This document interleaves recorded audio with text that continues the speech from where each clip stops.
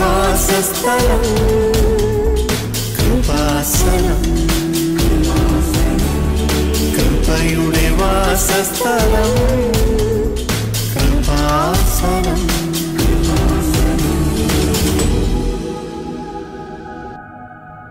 സൂര്യ പറഞ്ഞോട്ടാ സൂര്യ സൂര്യ. Hello സിസ്റ്ററെ കേൾക്കാമോ ആ കേക്കാം പറഞ്ഞോ.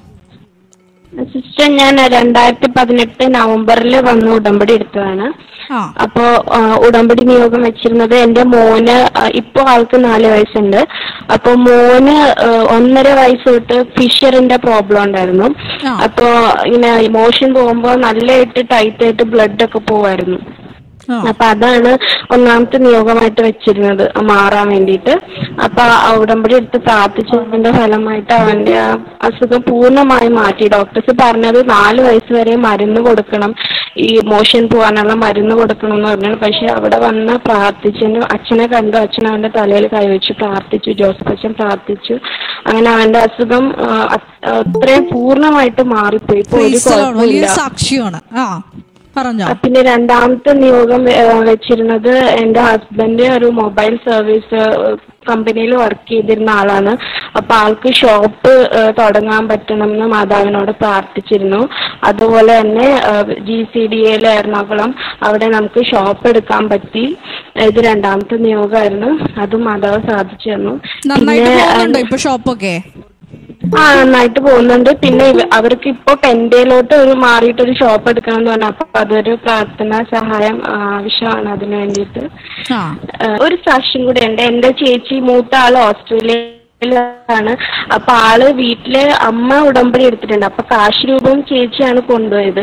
അപ്പൊ ചേച്ചി നടക്കാൻ പോയപ്പോ ഈ കാശ് രൂപം ജാക്കറ്റിന്റെ ഉള്ളിൽ നിന്ന് തെറിച്ചു പോയി. എന്തോ പോയ പോലെ തോന്നി ആൾക്ക്. രണ്ട് ആഴ്ച കഴിഞ്ഞപ്പോഴാണ് മനസ്സിലായത് കാശ് രൂപം മിസ്സിംഗ് ആണ്. എന്നിട്ട് അപ്പൊ നമ്മൾ ഇവിടെ ജപമാല ഓൺലൈൻ ജപമാല പങ്കെടുത്ത് പ്രാർത്ഥിക്കുമ്പോൾ പ്രാർത്ഥനാ നിയോഗം അതിൽ എഴുതിയിട്ടു കാശ് രൂപം തിരികെ കിട്ടണം എന്ന്. അപ്പൊ നമ്മൾക്ക് ഇങ്ങനെ കാണിച്ചു തന്നു മാതാവ്. അത് ജാക്കറ്റിന്റെ കീറിയ ജാക്കറ്റ് ആണെങ്കിൽ അതിന്റെ ഉള്ളിൽ അത് സേഫ് ആയിട്ടുണ്ടെന്ന്. അങ്ങനെ ഞാൻ പറഞ്ഞു കൊടുത്തു ചേച്ചി നോക്കിയപ്പോ അതിനു മുന്നേ നല്ലവണ്ണം കുടഞ്ഞൊക്കെ നോക്കിയിട്ട് കിട്ടാഞ്ഞ കാശ് രൂപം ഭദ്രമായിട്ട് അതിന്റെ ഉള്ളിൽ നിന്ന് കിട്ടി ഉടമ്പടി കാശ് രൂപം ആ ഓക്കെ ഒത്തിരി മക്കൾ അങ്ങനെ സാക്ഷ്യം പറഞ്ഞിട്ടുണ്ട്.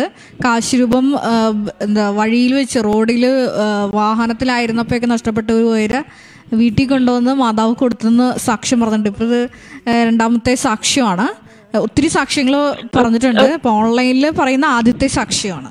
ഒത്തിരി സന്തോഷം. വലിയൊരു സാക്ഷിയാണ് ഈ മകൾ പങ്കുവച്ചത്. മകന്റെ നാല് വർഷം ആയിട്ടുണ്ടായിരുന്ന ഏനൽ ഫിഷർ എന്ന അസുഖമാണ്. കൃപാസനത്തിൽ വന്ന് ഉടമ്പടി എടുത്ത് പ്രാർത്ഥിച്ച് ബഹുമാനപ്പെട്ട ജോസഫ് അച്ഛന്റെ കൈവപ്പ് ശുശ്രൂഷ വഴി പൂർണമായിട്ടും സുഖപ്പെട്ടു എന്നാണ് മകൾ മകൾ സാക്ഷ്യപ്പെടുത്തിയത്. തുടർന്നും കൃപയിലായിരിക്കുക.